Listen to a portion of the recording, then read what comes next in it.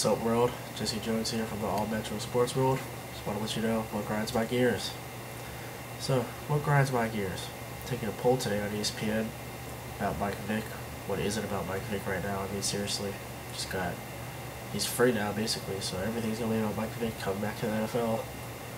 So the poll said, would your favorite NFL team be better with the projected starting quarterback or Michael Vick? 74% of America said projected starter quarterback. I don't agree with that because the only state that's in Mike Vick doesn't even have an NFL team. What is that even saying?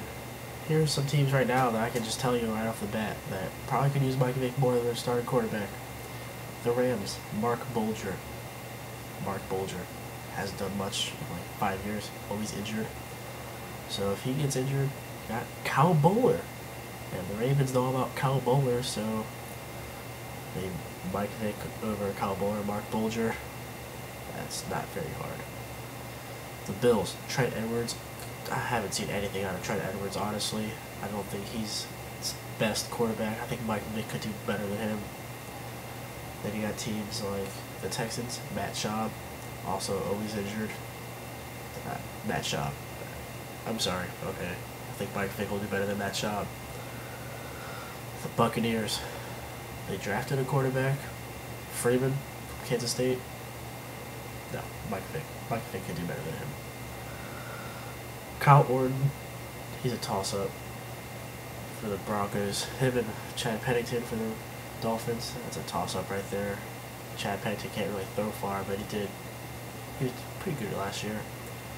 Kyle Orton. The Lions. Matthew Stafford. So, Matthew Stafford. I don't think he's going to live up to all the hype. He was alright in college. Never heard him for Heisman or anything. But, I don't know.